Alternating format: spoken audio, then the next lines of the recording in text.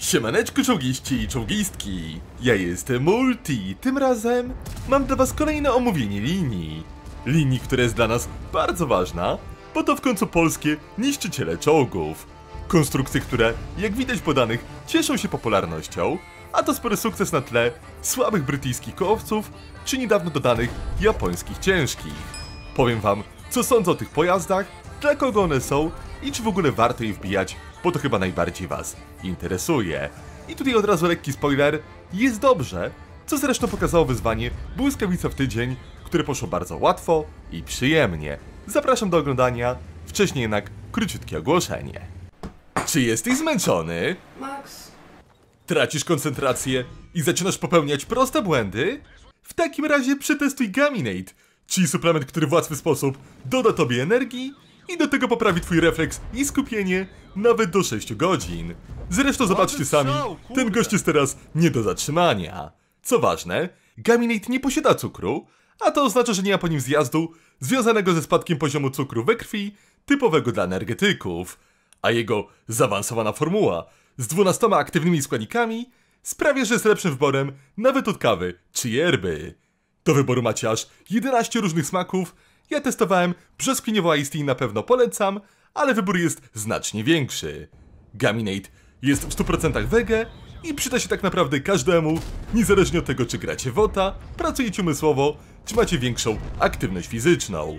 Jego przygotowanie jest wyjątkowo proste i poradzi sobie z tym każdy, nawet ja dałem radę. I to moi drodzy, czyni go idealnym wyborem na każdą sytuację, a teraz z kodem NewMulti2K otrzymacie jeszcze aż 10% zniżki na całe zamówienie i elegancki shaker World of Tanks, bo choć może o tym nie wiecie, Gaminate współpracuje z Wargaming. Dlatego zapraszam was do zamawiania, link do sklepu macie w opisie, mocno polecam. I na początek musimy ustalić kilka rzeczy. Polskie te deki są dedykowane aktywnym graczom, osobom, które lubią atakować, lubią walkę na blisko i broń Boże, nie zamierzają kisić się w krzaku. To oznacza, że gra jak STRVM totalnie odpada i jeśli lubi snajpić, powinieneś z automatu zrezygnować z tej gałęzi. Co jeszcze? Mamy tutaj pewien podział na tiery 5-7, które są pozbawione nowej mechaniki i tiery 8-10, które mają już głęboko gwintowane działa i tym samym uszkodzenia zależne od odległości. Nam przede wszystkim będzie zależeć na tych wyższych tierach, bo to one są po prostu najciekawsze, ale spokojnie, parę słów także o lolkach. Zaczynając od piątki. Mamy tutaj zadymkę, czyli niszczyciel, który jako jedyny w tej linii musi starać się snajpić. I wynika to z tego, że pancerz no nie jest zbyt dobry i wytrzyma delikatny ogień czwórek czy stokowych piątek. Naszym największym atutem będzie tutaj działo kalibru 90 mm, który ma przyjemną penetrację, dobry damage 240, ale co ważne, nie jest zbyt cenne, więc będą zdarzać się kalafiorki. Jeździ to dobrze, ukrywa się też fajnie, więc możliwość gry z krzaczka jakaś tam jest, ale na co musicie uważać to moi drodzy, beznadziejny wychył działa na boki, tak jak zresztą i w całej linii, więc z góry rady się na to przygotować. Co jeszcze denerwuje, to beznadziejny zasięg widzenia, który wynosi 280 metrów, i to oznacza, że bez optyki albo lornety nie ma co w ogóle wchodzić do bitwy, bo nawet nie będziecie wiedzieć, kto do was strzela. I w związku z tym polecam zestaw Venta dosuwacz i optyka, może być także turbo dosuwacz optyka, jeśli chcecie być delikatnie szybsi. I jeśli chodzi o opinię o zadymce, one są takie średniawe, na pewno nie jest to pojazd beznadziejny, ale wiele zależy od waszego stylu gry. I dalej na szóstym tierze mamy już burzę, czyli pojazd dużo lepszy, który ma przyjemny pancerz i pozwala na grę kontaktową. Odbija szóstki, odbija nawet siódemki, a reszta też nie jest słaba, bo mamy przyjemne działo 100 mm, które przebija i bije po 280. Mobilnościowo także jest dobrze, może delikatnie słabiej, ale nie ma co narzekać, bo pancerz naprawdę mocno się poprawił. I tutaj identycznie polecam zestaw optyka dosyłacz eventa, ewentualnie dosyłacz optyka i turbo. Dlaczego? Bo pojazd ma tą samą wadę co piątka, czyli słaby zasięg widzenia. Znów delikatnie lepszy, ale wciąż za mały na tych tierach. I moi drodzy, jeśli chodzi o cenę burzy, tutaj dałbym takie 7, 8 na 10. Wydaje mi się, że to jest bardzo dobra opinia. W przypadku siódemki, czyli SDP-57 Gowika, mamy do czynienia z naprawdę wybitnym pojazdem. Mamy działo 122 mm, które wali po 420, więc więcej niż w takim misie. I do tego penetracja jest przyjemna, celność akceptowalna, no naprawdę do działa nie powinniśmy się przyczepić. Mobilnościowo wyciągamy takie 40 na godzinę, Niby wpisali 50, ale to jest taka raczej wartość abstrakcyjna. Jeśli chodzi o żywotność, pozwala wytrzymać strzały rówieśników jak Is czy Tiger. Dopiero Gold będzie nam robił problemy, ale mówię, naprawdę jest dobrze. I tak naprawdę mogę powiedzieć, że Gowikiem mi się grało najlepiej z całej linii, więc warto tym pojazdem pograć. Kamuflaż jest dobry, zasięg widzenia, no znów wzrósł, choć też wolałbym, żeby było więcej, ale że tym pojazdem gramy naprawdę na blisko. Tutaj już naprawdę musi być walka kontaktowa. To najlepszy będzie zestaw dosyłać wzmocnienie i turbo, ewentualnie zamiast turbo dajcie celowanie lub obracarkę, w zależności od preferencji. I potem, moi drodzy, segmencie z rolkami przechodzimy do poważnych tierów, czyli 8, 9, 10. I na ósmym tierze czeka na was Kilana. Pojazd ma także swoją nieoficjalną nazwę, ale może o tym nie będę wam mówił, kto wie ten wie. No i jeśli chodzi o tą konstrukcję, ja ją polubiłem, grałem nawet nią na turnieju i powiem wam, że w takiej konfrontacji z innymi ciężkimi naprawdę wymiata, ale trzeba naprawdę mocno postawić na walkę kontaktową. Mamy tutaj to głęboko gwintowane działo, i działo to ogólnie jest troszeczkę inne niż w dziesiątce czy w dziewiątce, bo mamy lepszy damage na daleko jest to z 500 metrów 350, no ale na blisko jest mniej niż w tych wysokich tierach najwyższych, bo jest to 700. Wciąż jednak bardzo dobrze, szczególnie przy tym przeładowaniu, także najważniejsze, grać na blisko, nie kampić, bo widziałem już ludzi, którzy stali w rogach mapy na samym początku przy dobrym losowaniu i się zmarnowali, a mogli zagrać naprawdę bitwę życia. Także odwaga jest potrzebna, ale w związku z tym też przeżywalność nasza jest dość ograniczona, to trzeba podkreślić. Niestety taka gra jest bardzo kosztowna i y, no niestety, mimo że mamy dobry pancerz, często się ginie, no tak to już po prostu w tych pojazdach jest. Trzeba jednak ryzykować. Co do moi drodzy wyposażenia, ja gram z zestawem wzmocnienie, dosyłacz i turbo, najlepiej eksperymentalne. Dlaczego? Aby troszeczkę lepiej się strzelało. Uważam, że to będzie dobra decyzja, więc polecam Wam postawić tutaj właśnie na eksperymentalne turbo. Drugi zestaw, który też jest ok, jeśli ktoś narzeka na celność, to byłoby wtedy danie dosyłacza wciąż, no bo to jest podstawa. Do tego turbo, no mówię znów najlepiej eksperymentalne i celowanie. Mamy wtedy mniej życia, ale dużo więcej się trafia. To się przydaje, bo działo niestety zawodzi często zawodzi. Od razu mówię naprawdę, często działo to przy dobrym skupieniu nie strzelało tak, jak sobie życzyłem. A zagrałem tym, no, kilkadziesiąt bitew podczas wyzwania dycha w tydzień, mówię. No i wiem, jak to wyglądało. Widzowie też widzieli proste strzały, często były marnowane. Także, no, taka uwaga. Ale teraz jest nieźle. Teraz, kurde, wyjątkowo ładnie trafiamy, naprawdę ładnie. Co do perków, teraz też widzicie perki, takie najważniejsze, jakie warto byłoby dać, ale to też jest wiadomo zawsze kwestia bardzo gustów, nie ma co mówić, że takie muszą być i koniec, kropka, zawsze trzeba samemu się zastanowić. W tej bitewce rywale mają kampę niszczycieli, tam stoją TDki w A5, więc nie będę szturmował tędy, bo zginę. Zamiast tego zrobię takie kółeczko, pojedziemy sobie dookoła, chyba że nasz szarfutur pociśnienie jeszcze nie jedzie. E, teraz chyba naszym celem będzie ta Skoda T50. Ważne byłoby, wiecie co zrobić? E, ustawić się tak, żeby te tedeki z A5 nie strzeliły. Możemy to zrobić wychylając tutaj, wydaje mi się, to będzie git. O, o, o, o, o, o T30 nie trafiła w nas. My na szczęście, widzowie, trafimy, my trafimy, my się tutaj nie pomylimy. Jeszcze jest ta Skoda, ona dostaje od SU-130 PM, także za chwilkę wyparuje. BZ jeszcze jest niewcelowana w nas, więc też jej nie zazdroszczę, bo nie wie, co się z nią zaraz stanie. Choć w sumie trochę wie. Ok, nieważne, trochę wie. Kurde, no weź podjedź. No nie bądź taki, no. O Jezu, powiem wam, że naprawdę założyłem, że kolega mi tutaj co zrobi, to wyjedzie, ale powiedział, że nie. No to strzelimy sobie w Skodę. No okej, okay, trudno. Niech będzie i tak. RHM daleko, daleko.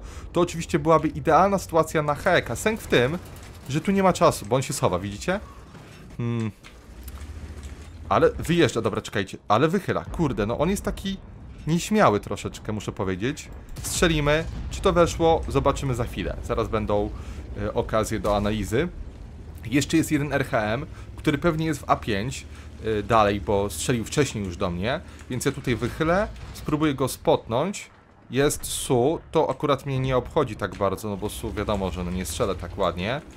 Mm, czy dostaniemy RHM-a? Zmienię pocisk na goldowy, żeby w to Su strzelić, ale no jeśli tam jest RHM, wolałbym w niego, byłoby 8 stóweczek, co- e, 8 stóweczek, no takie bardziej 7 raczej. Jest bicie? Nie wiem, czy chyba. Chyba w to su trafiłem. Ej, serio, chyba mi się wydaje, że w to su weszło. Zobaczcie, że ma gąskę zdjętą. Tak, to była moja gąska na ślepo. O Jezu, słabo. No. Tam oni tak stali ciasto ustawieni, że weszło e, w ziemeczka. No, no zdarza się, no zdarza się, no tak bywa. 50 TP, 400 metrów, to jest akurat dobre, że tutaj z dystansu jest też ten damage spoko, ale czy on się cofnie? Nie zdziwię się, jak będzie tam stał uparty za budynkiem, wiedząc, że i tak już jego los zaraz dobiegnie końca. Nasz obiekt jedzie mu na plecy. No weź się cofnij, no. No już nie jechałem, bo wiedziałem, że to nie ma sensu. No i koniec. Nie strzelimy już.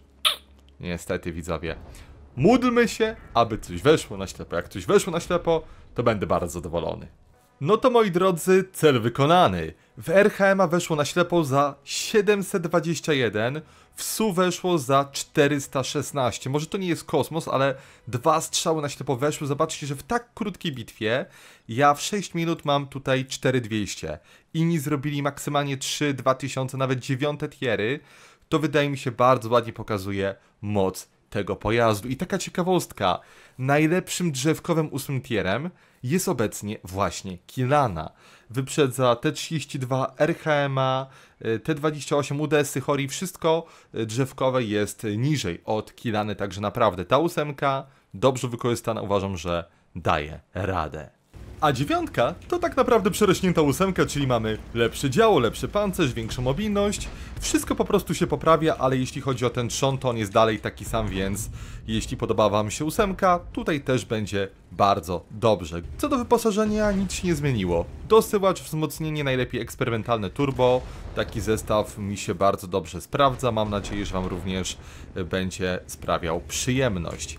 I w tej bitwie jest dużo medów, które trochę się tak powiem obawiają nas, więc wykorzystamy tutaj boosta, aby co zrobić to troszeczkę te medy zaskoczyć. Mam nadzieję, że to mi się uda. Ten podjazd przydaje się, aby nie tracić czasu na takie potężne flankowanie. I zaraz ten KPZ dowie się, co to znaczy 800 uszkodzeń na dziewiątym tierze. Mam nadzieję, że mu sprzedam zaraz e, taką pl fajną plombę. Ym, Też zauważyłem jedną rzecz, której u mnie już nie ma na koncie, ale tutaj jeszcze jest. Ja mam e, mało tych heków, powinno być trochę więcej, ok? To jest błąd, przyznaję się, ale mówię, to jest tak, że ja gram na koncie Community Contributor, to jest konto prasowe i tutaj nie wszystko jest ustawione tak, jak być powinno, ale normalnie na pewno bardziej heki trzeba używać, bo mm, w sensie nie, że w bitwie teraz tak gram, tylko ogólnie trzeba ich więcej wozić, bo przydają się, żeby z tych większych odległości robić fajne uszkodzenia, dobra? Także to chciałem wam podkreślić, ale y, no to mówię, jest takie konto, gdzie nie wszystko jest tak ustawione idealnie na tip-top, jak być powinno. Wynik bitwy to 4-0. Jestem trochę zły, bo to chyba będzie bardzo szybkie starcie, za szybkie. Duża odległość, ale trafiłem, tylko że rykoszet w TVP-ka, no to trochę słabe, bo do TVP nie oszukujmy się. To nie jest coś, co powinno odbić, no ale stało się. I rywale mają tamtego Conquerora, y, dziewiąty tier warto wykończyć. I tutaj strzał za 8 stówek, super, weszło jeszcze taran. O, taran już y, nam nie wyszedł. 2600 uszkodzeń na koncie, czyli to już mówię, jest taki raczej finish. Może ktoś tu przyjechał, mają jeszcze jakieś tam tedeki na bazie Giesora. Ym, on ostatnio był w dropach na Twitchu, niektórzy się chwalili, że go dostali, także gratulacje dla osób, co w ogóle miały tyle szczęścia. No i teraz jedziemy po tego Gisora. Mam nadzieję, że uda nam się go walnąć za jakieś 5 stówek z tej odległości.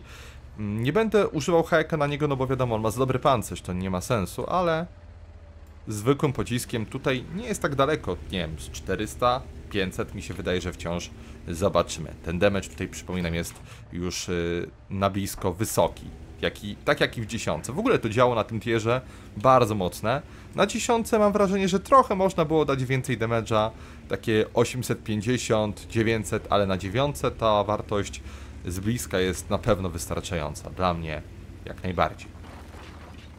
Wyjazd musi być zdecydowany, gościu jest na goldzie, ale ma już jeden pocisk mniej. Może jeszcze wcześniej yy, strzelał i, i ma już w ogóle teraz malutko tych pocisków, także ja tutaj zaryzykować bym chciał, Daleko, daleko pojawia się STRV. Zobaczcie, że to jest STRV tyłem, więc to mogło wyjść super z HK. No ale już odpuściłem. Już uznałem, że dobra, trudno. Strzelmy sobie w TVPK. To będzie około 500 uszkodzeń, jeśli trafimy, czyli no wiadomo, to nie jest kosmos. Okej, okay, jest Giesor. On chyba przodował. Ta, przodował. Chodź, kurna, w sumie? Hmm. Ty, ja nie wiem w sumie, co on... Co on zrobił? Nasi go tak ładnie karają, a tam jeszcze jest Arta, wiecie? Tam jest Arta, kurde. Zostawcie coś, panowie, zostawcie mi go. Dobra, zdjęty i jeszcze tam jest Arta, mówię. Tam, ja wiem, że tam jest Arta. Ja widziałem jej strzały. No właśnie, kolego, no właśnie, ja cię widziałem. Czy ty myślałeś, że co, że sobie uciekniesz? Babokiem? Nie na mojej warcie, nie ma szans, kolego. Proszę cię. I tak wygląda wynik. Co prawda mniej niż ósmym tierem, ale to nie wynika z tego, że pojazd się źle pokazał, tylko po prostu już nie było w kogo strzelać. Błyskawice pewnie znacie najlepiej, ponieważ o niej jest po prostu głośno, było o niej sporo filmów nawet u mnie na kanale, także pojazd chyba trzeba najmniej omówić, ale tak delikatnie możemy powiedzieć, że jest to po prostu podkręcony y, tier 9, czyli lepszy DPM, lepsza celność, więcej życia, lepszy pancerz, lepsza mobilność, ale jest wyraźnie gorszy kamuflaż. Czy ma to jednak znaczenie? Nie ma to większego znaczenia, bo i tak prawie zawsze macie spota, gdy walczycie na takie odległości. Także czy to jest wielki problem? Absolutnie nie. Wyposażenie perki identyczna sprawa, y, nie ma tutaj większych zmian, także można powiedzieć, że 8, 9, 10 tier, jeśli chodzi o styl grania, bardzo, bardzo podobnie się prezentuje. Na pilotnisko mamy Badgera do zniszczenia. Ten Badger ma taką pozycję, że nie będziemy go w stanie przebić w górną płytę. Nie, nie, nie. Tutaj tej penetracji już brakuje, żeby go zmasakrować, także musimy szukać alternatywnych opcji, jak na przykład ten Centurion, który pomyślał sobie, ale to będzie fajnie tu wyjechać. No to powiem Ci kolego, już jest chyba Tobie mniej fajnie. Mhm, dużo mniej fajnie. to naprawdę było dla niego smutne. Zobaczcie, że w tej bitwie nie było ani jednego czołgu ciężkiego. Co o tym sądzicie? Ja wam powiem, co ja o tym sądzę. Ja sądzę o tym, że Wargaming powinien wziąć się kurna do roboty i zrobić co, coś z tym matchmakingiem, bo to jest tragedia. Ten matchmaker to jest po prostu istna tragedia. Co oni zrobili? Ja nie rozumiem, jak można zrobić matchmaker bez czołgu ciężkiego na 10 tierze i dać tyle niszczycieli. Wargaming naprawdę powinien tutaj zrobić jakieś ograniczenie ich ilości. No przecież to nie jest chyba niemożliwe. Można zrobić ograniczenie lightów. Zróbmy ograniczenie po prostu y, teleków i dajmy więcej ciężkich. Wydaje mi się, że jest to jak najbardziej możliwe do zrobienia i gracze na pewno będą sobie to chwalić, bo to sprawi, że będzie dało się robić więcej, wszyscy będą zadowoleni. A tutaj naprawdę, no zobaczcie, że jest mało tych pojazdów do strzelania, jest y, ciężko zrobić super wynik. Ja po prostu jadę i, nie mam kogo atakować poza niszczycielami, które się na mnie czają i trochę się cykam, bo wiem, jakie to jest niebezpieczeństwo je atakować. Jeszcze nie mają całkiem sporo życia, tylko weź im to życie zabierz. No właśnie. Tutaj jest po prostu z tym trochę trudno. Jest to możliwe, ale wymagające. Grill, co wy na to? No grill jest oczywiście fajnym celem. Dostał za 751, ale jagoda. Jagoda, jagoda, jagoda. Czy ono tu mierzy w ogóle? No, jagoda tu nie mierzy, więc ja zaryzykuję. Pewnie zbiorę mocno, ale muszę, muszę, muszę, muszę. Dobra, siadło. Yy, tego grilla już zignoruję, pojedziemy po Leoparda, bo ma więcej życia i możemy na nim więcej zyskać. Wiem, to nie jest mądre zostawiać kogoś sobie na plecach, ale no jeden strzał więcej fajnie byłoby zrobić. Nie pogardziłbym jeszcze jednym pociskiem. On jest tak ustawiony chyba bardziej pod kątem ISA, choć Coś, zobaczcie, coś, coś, coś. Jest, wyjechał, dostał za 834, spoko. Byłem takim zwiadowcą w tej bitwie, zobaczcie ile asysty. Naprawdę sporo. Także chociaż tego y, troszeczkę więcej dostaliśmy. No naprawdę, jestem w szoku. Takiej bitwy dawno nie miałem, bez czołgu ciężkiego, ale jak widać zdarzają się i takie. 8 strzałów, 7 trafień, skuteczność była dobra, bo walka była kontaktowa. Także zobaczyliście Państwo linię do błyskawicy. Jak już słyszeliście, polecam ją, tylko trzeba wiedzieć po prostu do czego to jest. To jest do szturmowania, to jest do atakowania, na pewno nie dla graczy, którzy chcą gdzieś tam z rogu robić free pestki, wtedy to będzie średnio opłacalne. Dajcie znać, czy wbijacie błyskawice i życzę Wam udanych bitew na tych konstrukcjach. Trzymajcie się, do zobaczenia. Pa, pa!